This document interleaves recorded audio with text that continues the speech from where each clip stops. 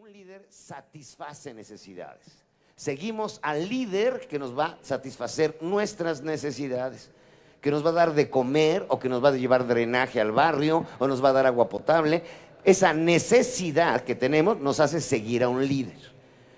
Estábamos en Arequipa el día de ayer, había un paro y obviamente había un líder y lo seguían a ese líder porque iba a satisfacer una necesidad. Entonces lo primero es satisfacer necesidades.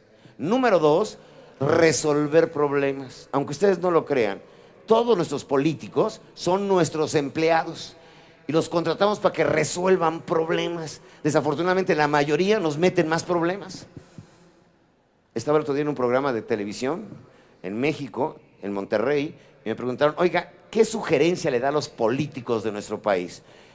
Y si se me ocurren varias cosas, dije. Número uno, que renuncien.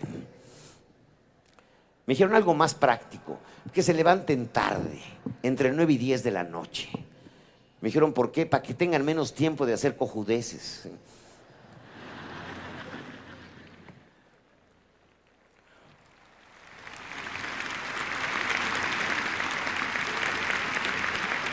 Un líder, pues, ¿es para qué? Para resolver problemas. Y número tres, ¿eh? Número tres, que es esencial y tal vez es la más el más difícil de alcanzar es donde se llega al liderazgo superior, es dar significado. ¿Qué significa dar significado? Darles un por qué vivir, darles ideales, darles realmente algo por qué luchar en la vida, darles una, misión a, un ser humano. Vean ustedes a la mujer. Número uno, ¿qué hace? Satisface necesidades. Al niño lo primero es, lo tiene que atender, si no se le muere, se le va. Yo les pregunto a las mamás presentes, fíjense la reflexión, ¿cuánta caca han lavado? ¿Cuántos vómitos han lavado? Una enormidad, una enormidad, bárbara.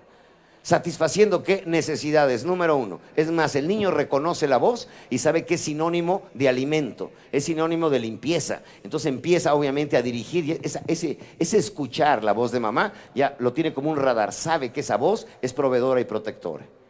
Número dos, la mamá se la pasa resolviendo problemas haciendo tareas, yendo a juntas en el colegio, haciendo el desayuno, resolviendo problemas, resolviendo problemas. Pero lo más difícil ¿eh? es darles precisamente un significado.